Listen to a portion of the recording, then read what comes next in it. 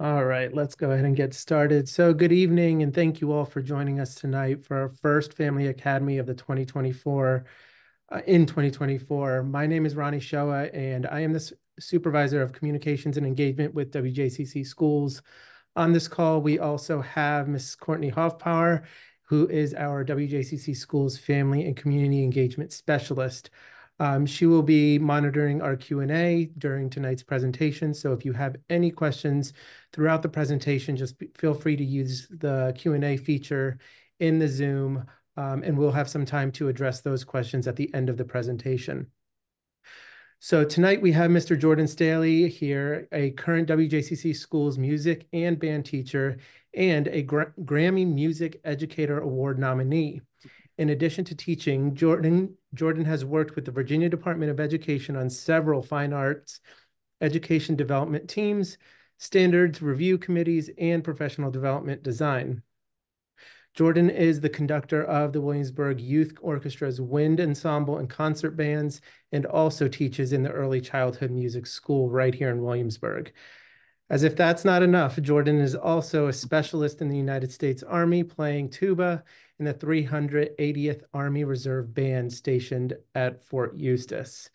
Um, that's quite, quite a lot of work. So I'm thankful that we had some time that he can squeeze in tonight um, to, to talk with us. Um, so with that, I will pass it off to Jordan and um, let's get started. Well, thank thank you so much, and thanks for uh, uh, making this happen. I'm really excited that our school system uh, wants to do a family academy on supporting emerging musicians, which is really awesome. So, thank you for your work in making this uh, making this happen. Uh, so, yeah, I, I, I, like to play music, and it, it's done well for me. And, and the starving musician thing doesn't have to be the only narrative around making music in schools, and that's a really awesome thing. Tonight, our our main focus uh, is to to try to give some tips and hints on how to uh, support your emerging musician, how to uh, what what helps them practice at home, what motivates students to practice, and maybe what doesn't. I've been teaching in public schools for 11 years now. I've seen a, I've been fortunate enough to be a part of a lot of uh, students' journeys into beginning band um, and beginning orchestra. And so I've seen what works and and how how sometimes that can help students excel and find something they didn't know they love find out they love it. And I think I've seen a few times when it doesn't work. So hopefully we'll uh, come up with some good tips. Um, but music making has been a part of my life for, for a really long time. I met my wife uh, in school music programs in elementary school all the way to high school. And I've got two kids in the school system now. One is in fourth grade, about to go uh, pick his beginning band instrument for fifth grade. And my daughter's in first grade. So uh, getting them to practice at home is a struggle I'm, I'm well aware of uh, and, and totally understand. But uh, they're both extremely passionate musicians right now, and I can't wait to see what happens next for them. All right. So, uh, like I said, really the, the big goal today, uh, the agenda items are um, to go over the five sections here. And if I don't quite make it to the end, the resource page at the end has all of the awesome the, the awesome links to to use. Um, but it's really the goal is to empower you to know how uh, effort and support go hand in hand. And sometimes it's the difference between what students decide to do with their instruments long term. Uh, we'll briefly discuss the reason why we even have music in our schools in the big why section uh, with some pro tips on goal setting and intentional practice. The what do I need section will touch on the essentials for effective practice at home. The list is pretty short, but it's really, really important to actually creating the environment students use to get to catch that practice bug on their own the what am I listening to slash four section. Uh, it includes an embarrassing video of me. So that'll be fun. Uh, it'll be my best attempt at being a beginner player and then magically transforming into a better player just with some small adjustments. The transformation didn't come across quite as magically as I had hoped, but it's still still a, a worthy endeavor here. So we'll, we'll give it a watch. The how do I help section of this presentation is the part that I'm least proficient at. I'll, I'll give you that much up front here uh, because it's also my biggest struggle as a dad uh, trying to balance life and practice is really really hard but i'll give you some real world ideas that other people who are really good at this uh, talk about and maybe maybe i'll, I'll learn something uh, about how to balance that better myself um, it's not a make you feel bad about being busy section it's it's the reality of life uh, mine included and how we can do a better job of managing that with with the practice expectation and lastly, we'll finish up with the most important part. Like I said before, it's those links. Uh, that's really the, the part that I think you want to uh, smash that like button and hit subscribe. No, just kidding. This isn't a YouTube channel. We're, we're good. We'll, we'll just keep going. All right, let's jump into it. The big why. Why do we even have music in our schools? Not every student takes band or strings, and learning a new instrument really isn't a life or death situation. And and uh, that starving musician uh, trend is is really something that that's out there. But obviously, music in our schools is important. It's it's what creates the learning environment in the community in which in which we send our students to school. And uh, we we are really blessed to be in a community community that values the arts. I mean, the fact that we're having a, a parent uh, academy on a family academy on on the arts is is uh, part and parcel to that. So we're going to dig into some of the impacts music education has on students and, and what they can gain, those 21st century job skills we're always talking about, and why music is the is one avenue that really helps students excel in that sort of world. And how learning a new instrument has impacts that go way beyond the classroom. All right. So this graphic is has a lot of stuff going on, but each of those little blurbs uh, comes from peer-reviewed research uh, that's been replicated decade over decade. So these aren't just like things that people hit points out of. Uh, these these are real impacts music education has on students.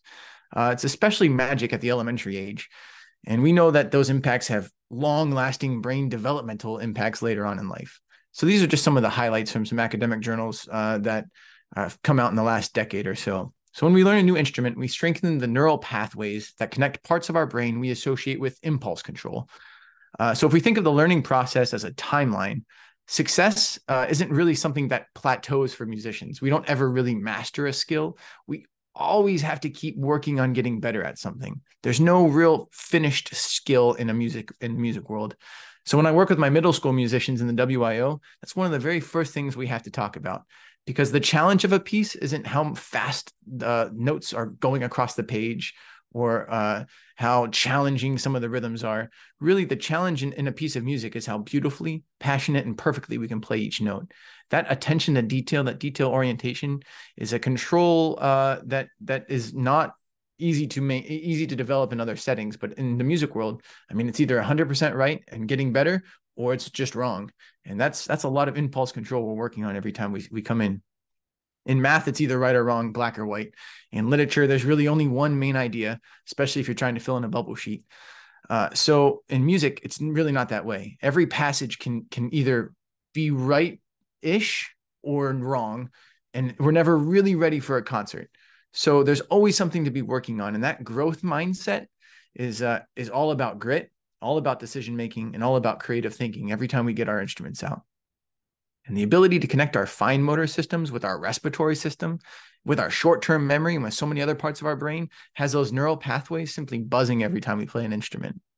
We know that the parts of our brain that light up like Christmas trees when we play instruments uh, are the parts that our brain doesn't want to shed whenever we shed our neural pathways as we get older. So the more we have students playing musical instruments, the more neural pathways are firing in our brains, and that's just strengthening uh, parts of our brains that hopefully we won't lose whenever we get older. It's it's really uh, the research is really interesting there. I've never met a person who says, "Man, I'm I'm so happy I stopped playing my instrument."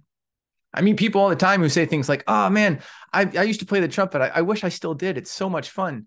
Uh, they stop for one reason or another, and there's lots of really good reasons to stop playing an instrument. But if we can encourage our students to to stick with it and keep playing their instrument, they'll they'll be one of the people I get to meet that says, "Man, I I still play my trumpet every now and again. I play trumpet at, at my church. I play trumpet in the community band, and uh, that that's awesome. We're not looking to make professional musicians. We know that there are real."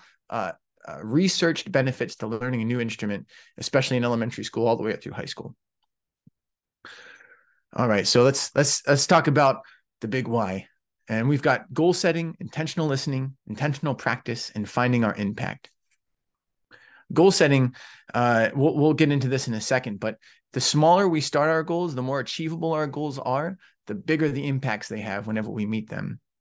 Intentional listening and intentional practice, those are kind of mindfulness traits that we'll, we'll dive into more. Um, and then finding your impact could have one of two two views to it. Finding your impact can be a student's uh, ability to find their impact on how they play their instrument for other people or what it what it feels like whenever they practice and come prepared for a class or it could be our our impact on their practice. And that's the lens we're going to go with tonight. Uh, so we impact our students in practicing with the words we say the uh, the faces we make whenever they get out their recorders. All of that impact we have is uh, sometimes helpful and sometimes not so helpful. So we'll hopefully we'll dive into some helpful versions of that. All right, so we'll start with SMART goals. Uh, SMART goals are I'm a I, I have 450 students at my school, and when I have to do SMART goals every year, uh, so that my principal can have measurable growth and can see measurable growth over time. And they're awesome if uh, I get to make them. If they're if they're if I'm told what my SMART goal is, they mean less to me. Our goal with SMART goals, whenever students are practicing, is that they create them, and then they can meet them feeling good about it and build up that intrinsic motivation. Uh, the S for SMART goals means specific. And, and for a brass player, it could be a buzz goal. Can I buzz through a passage or can I buzz along to a favorite song on the radio? Um, it can be really specific with maybe it's a, a number in a book. I want to play number five today until it sounds really, really good. It can be a listening goal. I want to uh, go to YouTube and listen to uh, some incredible trombone player and then have his characteristic tone in my head when I play number five from the book but that the more specific it is, the more achievable it is. We really want those uh, SMART goals to start specific, especially for students. The measurable part of a SMART goal for a student, and, and we can help them prepare these goals, are things like uh, those are the tools in which we we can measure our success. So so if recording it and then playing it back is the sort of measurable aspect of of a SMART goal whenever kids are practicing. The attainability are things uh, that students immediately see whenever they come to a class. So if they've practiced the day before or they practiced a week and they come into class and can say, "Hey, Mr. Staley, I not only can I play number five, I can play number five from memory, or I can play number five uh, with all of my notes growing from one to the next, or playing with with this sort of style." Uh, th- that attainability comes when they can show off for the skill that they've worked on. The relevancy of a SMART goal, and especially whenever it comes to practicing for kids, is just like with attainability, but it's it's whenever they play it in front of other people, like that confidence at the concert. Uh, and then timeliness is another important thing. We'll talk about this whenever we get to the very last section here. Uh, but practicing doesn't have to be a 45 minute struggle. It can be a five 10 minute goal. The real challenging thing is to think, what does my practice today look like? And how does it benefit me a year from now, or maybe even five years from now? That's a hard thing to get to, especially whenever we're talking to fifth graders uh, or even middle schoolers. But it's something to think about. I mean, uh, what we this time I invest on my tuba now is going to pay off. It might not be tomorrow, and it might not be uh, even a year from now, but five years from now, whenever I can still play that fundamental tone, that's because of the practice I put in uh, today or yesterday. All right, this is this is uh this is an important part here because intentional listening is the active, present, and focused participation in practice. My wife is way smarter than me, and she listens to really smart people on podcasts and reads smart books and looks up smart stuff on the internet. I play tuba. Sometimes I get lucky and can add stuff to the things she's talking about. And recently, she was talking to me talking to me about polyglots, or those are the people who can speak multiple languages fluently, and how they learn so many new languages. She relayed a story on how she heard that uh, people who are researching polyglots some some polyglots like to read books that they already know but in a different language. Some like to watch television shows in new languages.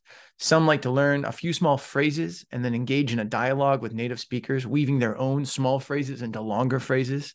Some read through dictionaries and memorize stuff but all have intentionality in common.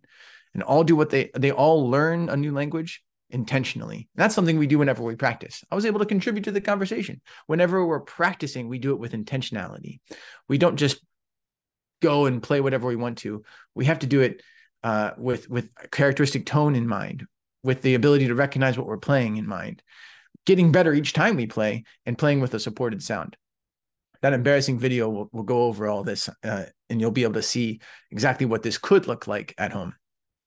Intentional listening is slow, it's active, and it's very present.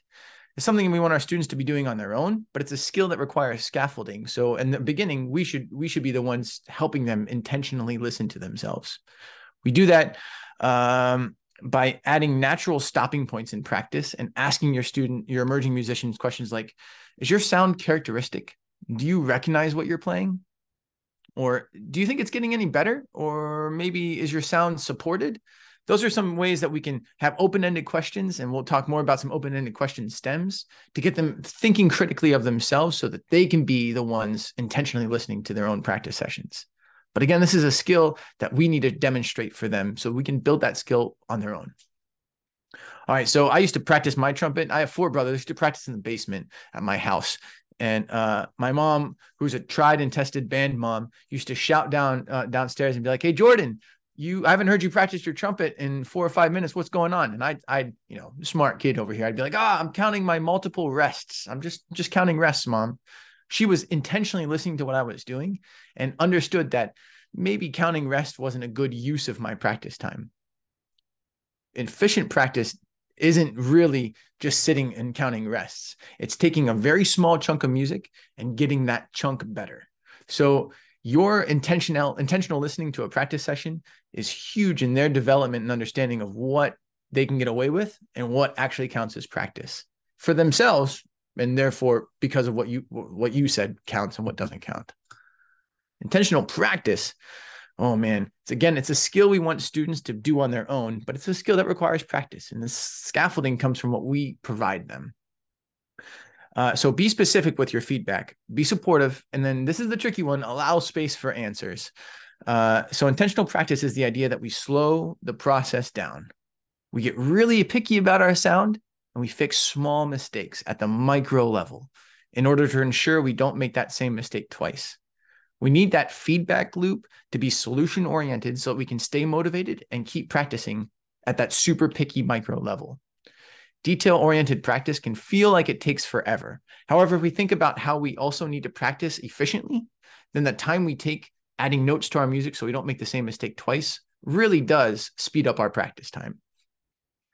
The trouble with mindlessly practicing or running through a bunch of songs super quickly is that we strengthen the neural pathways that allow mistakes to happen. We don't want those neural pathways strengthened. We want our, our super picky practice to make everything better each time.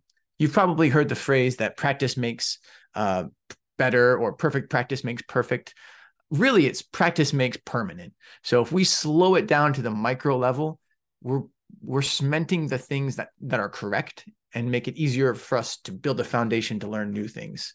If we're letting slips and mistakes go by without stopping to correct them, really not making any progress. If you look closely at the practice stems, you can try to add to your conversations. You'll notice that they're all very open-ended, no yes or no's kind of kind of a deal.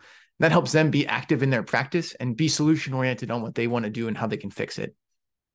Really amazing jazz musicians start almost every interview with an homage to the people who inspired their sound, their musical ideas, and their musical voice. Those jazz musicians are super intentional with who they listen to and the sound concepts they use to play. They do that in their intentional practice too. So we can model that for them, for our students, by finding those practice stems and encouraging dialogue whenever we hear them practicing instead of just letting bad stuff continue. So finding your impact. I know before kids start walking through the hallways in August, the schools get filled with new teaching materials that teachers are going to be using in that school year. Well, a couple of years ago, a couple of new boxes uh, started coming up in the hallways, and they had names on them like "Writing Without Tears" or "Reading Without Tears."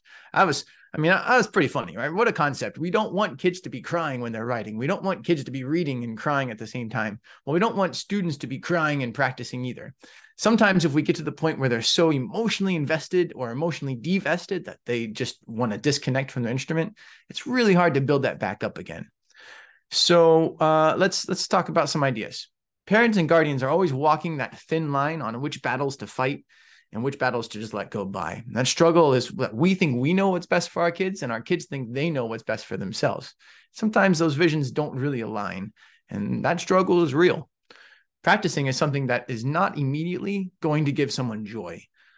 I'm fortunate enough to know that progress takes time and effort, and that effort I'm putting into the process is what pays off. But that long term thinking is really abstract, especially for young musicians. Telling a fifth grader that practicing now, even though it's not fun, pays off when you're in high school is completely irrelevant to their life. However, suggesting a break from the thing that is frustrating them at the moment and playing something else that's fun, easy, is also really helpful uh, to to disconnect, but keeps them on their instrument and keep them keep them playing. So at that resource page at the end of this, you're going to see fun things like lo-fi long tones. They're fun to play along. They're easy to play along, but it's a great tool to keep students playing with that supported sound, which is fundamental to what they're doing. Helps them play in tune, and they're really easy and fun to play. we use things like that with our with pop songs at Matthew Whaley and other other schools in our district too, uh, and it works well with my daughter. I mean, she loves playing Taylor Swift on her keyboard or a little like three string guitar she has. But if I say, "Hey, you're practicing," well, then then that that out the window it goes. We want to make sure what they're doing on their instrument is fun and relevant to themselves. We may know the long term, but it's not important. What they're doing now is fun, and that's that's really the most important part. So this is the list of resources that I used to create that first infographic with all those uh, those six different blurbs there. And there's some uh, great research in here. If you want to, if you got curious about any of it and want to do more, uh, those clicks to those academic journals are, are right there.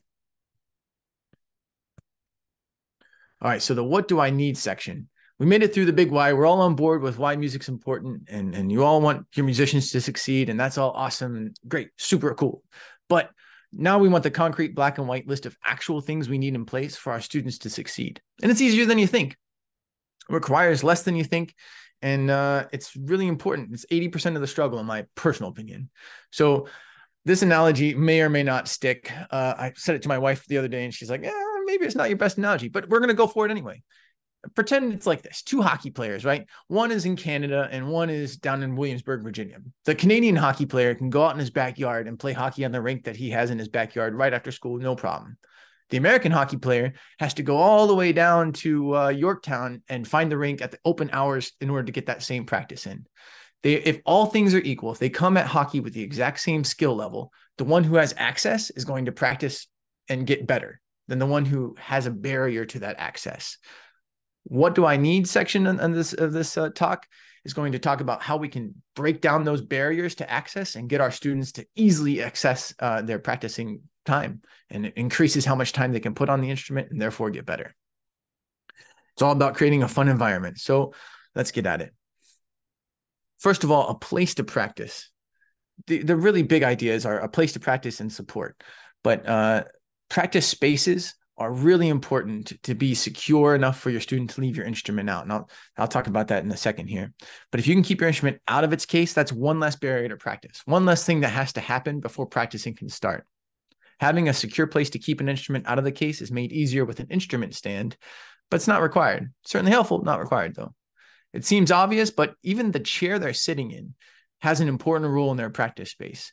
If we want them to be sitting with good posture, we need a chair that doesn't have arms and is not super cushy, so they sit down and slouch. Uh, no matter what instrument they're playing, a good solid chair with no armrests is, is a huge, like one less thing that you got to worry about in their practicing space. The last physical element that aids in creating a process, uh, a space for, for success is a stand and a mirror. If we empower students with a, with a mirror to be their own check for their own posture, that's one less thing that we need to do and one more element of intention that they can add to their, their practicing. Uh, a stand is also one more way for them to support their sound without us having to be like, oh, where's your music supposed to go? Um, Last uh, is the support idea. And support from family is one of the biggest indicators for success on a new instrument. I mean, we see hundreds of kids start instruments each year, and the ones that stick through it aren't the ones who are the most talented, aren't the ones who uh, have everything in place. The most of the time, it's the ones who have someone that they get to impress on their instrument. Their biggest fans are their families. And if you can be the their biggest fan each week, every time stuff happens, even if life gets busy, that biggest fan, you're you're 90%, 99% of the time, the, the people your kid wants to impress the most on their instrument is you. All right. Uh, let's make this happen. All right. So the physical space element here. I have a nephew uh, who is up in Fairfax and he's a tuba player, and uh, his sister, my niece, is a, a, string bass player. So my brother had to buy a special car just to transport their instruments. I'm not really sorry about that. I think it's hilarious. But either way, they uh, get instrument stands like that tuba stand back there is was what we give what I give them uh, whenever they pick their instruments out as my nephews and nieces because I know how valuable it is. They're both incredible uh, hockey players and lacrosse players, and practicing is so f- hard to fit into their schedule. But if their tuba is just sitting out, they're way more likely just to pick it up and play. Even those big instruments. I mean, the bigger the instrument, the more important the stand is because it takes forever to get it out. Now, we talked about a secure space for uh, a place for your student to practice. That's because really leaving your instrument out of its case so you can just pick it up and play is is really really helpful in in setting up that physical environment for them to be able to practice in. And now it can be scary if you have cats or dogs or little brothers or little sisters who are going to run through the space and want to play with it too. But I think if we get creative with how we're setting up our our spaces, like maybe it's just a corner in the dining room that uh, has a, an instrument stand for their clarinet and they can pull the dining room chair out and they're ready to play. It might not be the most appealing whenever you have friends and family over, you can put it away. But it, when it's time for them to come home from school, throw their backpack down and, and their instrument's already assembled, ready for them to play, 80% more likely to play than if they have to get it out of its case and put a mouthpiece together. Having that designated area for practice, free from distractions, and part of a routine can dramatically increase the likelihood of practice at home. So this this chair has no arms, uh, it's it's hard, and there's a stand with a book on it. I'm way more likely to explore it. And this is, I mean, this is my space right here with that instrument case. That link is for a DIY instrument stand. If you could look them up on YouTube, they're really easy. People take cardboard and tape and they can make an instrument stand. So you don't have to go out and buy an instrument stand. I mean, that's a long-term solution that might be uh, worth investing in. But if you're looking for something quick right now, you can make a make a DIY instrument stand out of some cardboard and tape. Um, super super important for how they set themselves up with posture. The last element, like we said before, 99% of the time, the people students want to impress most on their instrument are their families. One of the ways you can be that biggest fan for them, even if what they're playing isn't sounding amazing, is with some of these sentence stems. Like, man, I love hearing you play. That's amazing. Or let's record that song and send it to grandma. Or you sound so much better. I bet you you can audition for district band or maybe the WYO, Williamsburg Youth Orchestra, which is a great organization too. Maybe you're getting so much better each and every day, or I'm so proud of you and your progress. Wow, did you just play number five in the book from memory? Any sort of creative way we can be like, oh man, what you're doing is really cool, is going to encourage them to just keep practicing. And I mean, that's obvious, but it's probably worth saying. All right, so this is the one of my listening to section. We talked about all the, the abstract ideas, but whenever it comes down to it, they have a place to practice. We know it's important, well, what are we supposed to be listening to? If you're not a musician, you can still be a huge step in their musical progress without any other formal training. Uh, because some of it is pretty obvious, pretty self explanatory. And I think this video might help. What we're really looking for is characteristic tone, which means the tone that they're playing out of their instrument is the tone you would expect that instrument to sound like one of the best things you can do is have them listen to that instrument by a professional. So YouTube is a huge uh, resource uh, to be like, hey, why don't we look up famous trumpet players or famous u- trombone players? Or you can ask your your band or strings teacher to send you some links as well, and they will give you that characteristic tone, that understanding of what your instrument is supposed to sound like. Because then all you have to do is match that sound. A supported sound is a sound that's not going to be all hunched over and not full. A supported sound is very full and that you know exactly when the sound starts and when it stops. Improvement each repetition, that's that intentional practice. Are they intentionally doing what they're doing or are they just blowing through notes trying to add time to their uh to their practice log? Slow practice, intentional practice. Say, slam, and play is the secret recipe we use in band. And that idea is when you come across a new piece of music or things are getting frustrated, you break it down you say the note names, you slam the note names. So you slam by by uh, saying the note names while while adding the fingerings or the slide position or the the frets, and then you play it. But all of it comes down to attention to detail. So what you're about to see is uh well, I'll just I'll just play it. The only thing I want you to think about while you're listening to this is characteristic tone, supported sound, improvement each repetition, slow practice and attention to detail. So you're going to see me be my be my uh, my uh, support system here in the very beginning. Am I playing with those ideas? And then what do I do to change it in the back? All right, here it goes. This is this is this is rather embarrassing, but it's for a good cause.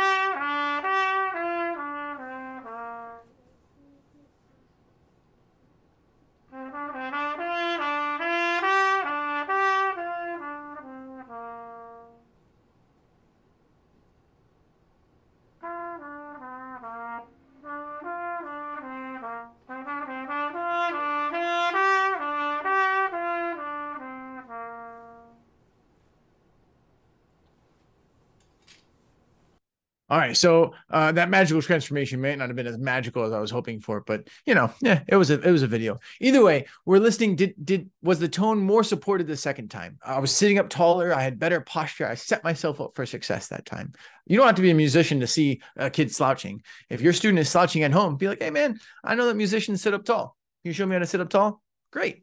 Or if their sound isn't coming across the way that a characteristic tone would sound, probably mostly uh, involves support. So you can videotape that sound and and have them listen back and say, what would you change if you were uh, the band director or if you were the strings director? What would you change about the sound here? And I bet you that I bet you they have some great ideas. Uh, improvement each time. That's one thing that I think would really help a lot of students, uh, especially early on. Being able to play it is great, awesome. You've got notes on the right page, and it sounds like the song you want to sound like. Great take it to the next level? How do you improve it from one take to the next take? What's something musical that you can add? Maybe dynamics or, or volume of the song. Does it sound small at the beginning, big in the middle, back to small at the end? Or should it sound something different? But not being satisfied with just having the right notes at the right time is that sort of grit and attention to detail that is has our neural connections firing on all cylinders slow practice.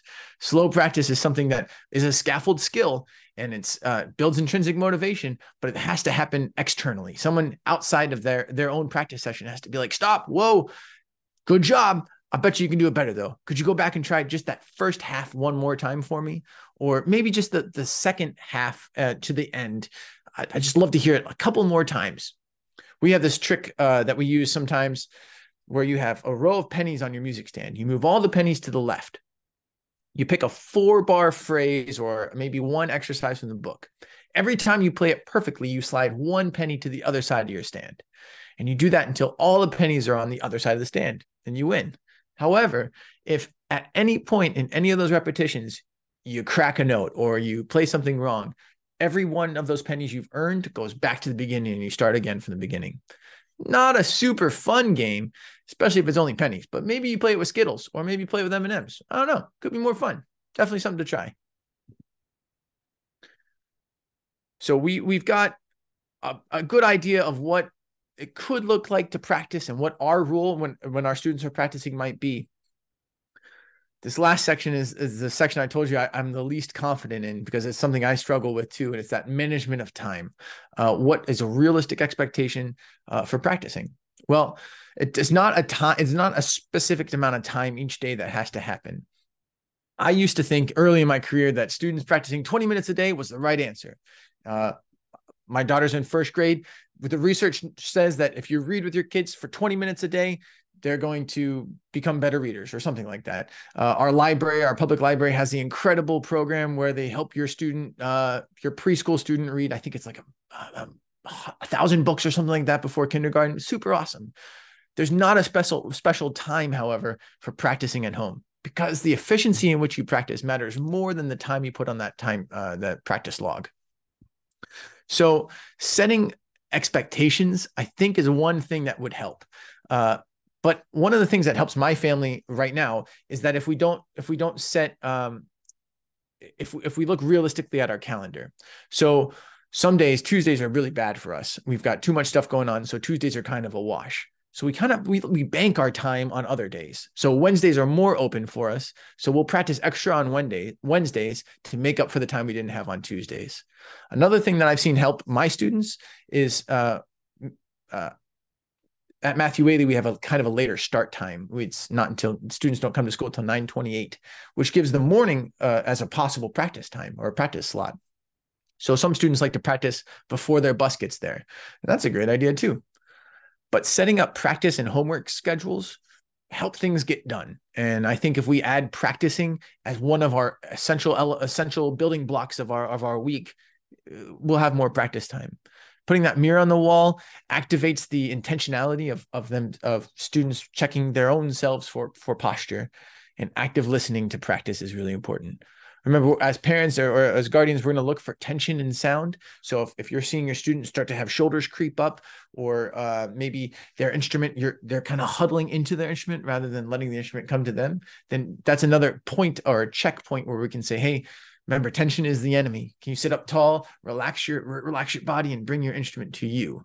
Uh, recording and reviewing is a, a, huge step forward that is so accessible now with cell phones, right? So recording your student practicing and then letting them play it back doubles the amount of practice time because listening to their own sound is going to help them play better next time. So you can sometimes it might be easier to have them practice for five minutes a piece, record that practice time, and on your way to soccer, you can play that video in the car and count 10 minutes of practice. It's a simplistic idea, but we know that uh, intentionally listening and looking for mistakes is going to make us better players anyway. So use that time in the car from one activity to the next activity as practice time. I think that's a a cool idea I heard someone up in New Kent talk about with their students traveling all the way down to Williamsburg Youth Orchestra on Monday nights. They would record their practice session on Sunday and play that session all the way down uh, on Monday night and double their practice time. It's a great idea. All right. So, like we talked about before, tension is really not a great idea. So, there's a, a couple of buddies of mine up in the Pershing's Own. Uh, military has amazing bands and, and groups that have uh, incredible resources online, and their YouTube channels have great tutorials and videos for your students to be watching. And there's a link to that later on.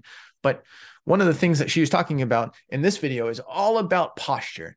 And if you look at the, her shoulders in this first picture right here, you'll see that she's hunched over and she's bringing that trumpet to herself. Rather than in the second video, she sets herself up for success by sitting tall and the trumpet comes to her. So instruments brought to the student, not leaning in, and mirrors can be that check that they use to say, hey, what are, what are my shoulders doing right now while I'm playing? All right. This is the one that's kind of the pot calling the kettle black here because I, I don't do this very well right now. But looking for a consistent time to practice each day. Uh, so before school or right after getting dropped off the bus, that's that's going to lead to success. Like we talked about before, time on horn is important. You can bank time from a busy day to a less busy day, and that still counts. And finding your free time in the week might be a great chance for you to try different ways to practice. So maybe uh, Tuesday is um, fundamentals day, Wednesday is YouTube day, and you play along with YouTube tracks. Thursday is your buddy comes over after school and you get to play duets with him. Short, focused practice is the most effective type of practice. A full 45 minute chunk is hard right? Um, but breaking it into like a five minute, you got five minutes. Go do something effective on your horn. Intentionally get your horn out and play through just a warm up routine for five minutes, and and then come back downstairs and we'll eat dinner. Or uh, practicing with friends. Also, I mean, it's fun. You get to hang out with your buddy, and it counts towards practice. And recording your practice sessions, like we talked about before, is a huge intrinsic motivator because you get to hear your sound and be like, all right, I have I have one idea on how I can make that sound better, and I'm going to try it next time I get to next time I get to practice.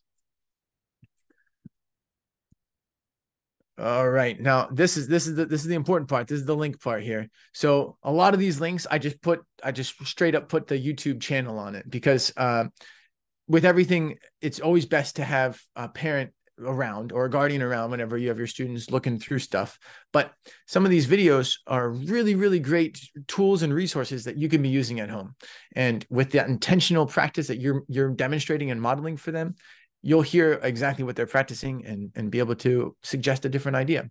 There's also groups in our town, which is where we live in a really awesome place for for a beginning musician like I said before, we've got the Williamsburg Youth Orchestra, but there's also the Williamsburg Symphony Orchestra. We talked about how important it is to go hear live music.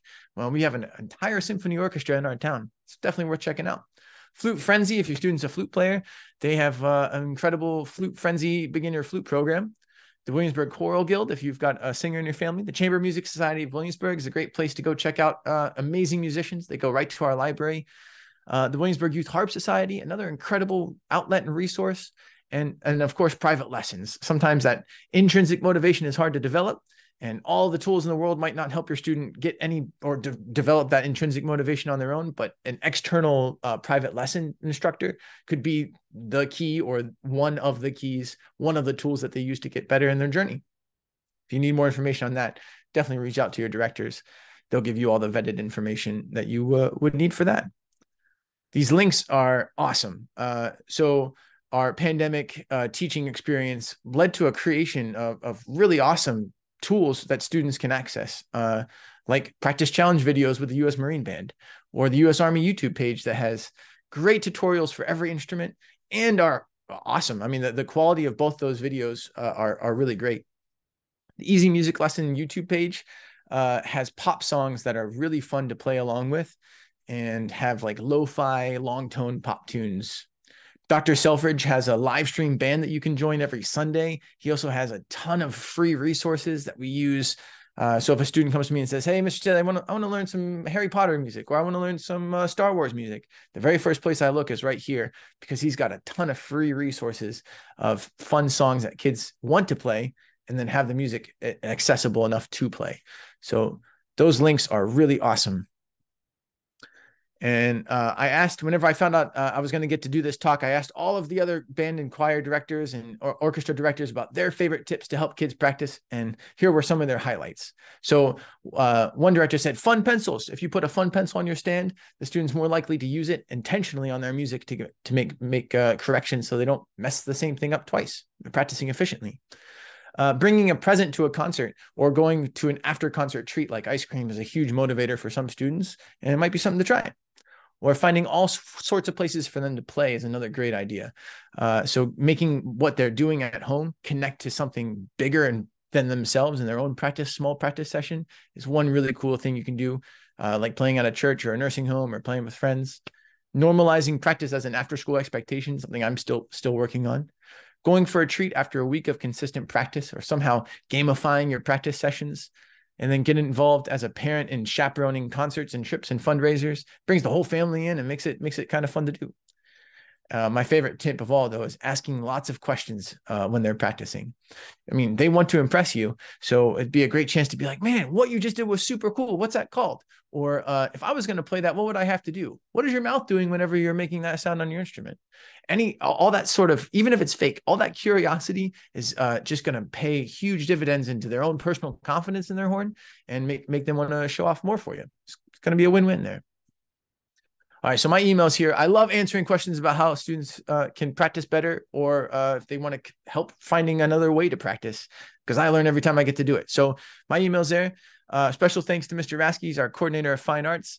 Uh, Amy Davis, Olivia Lawson, and Jessica Hamilton are all great directors in our district, along with lots of other ones. But they uh, directly uh, added some great ideas to this this presentation. But that's what I got for you today. So yeah.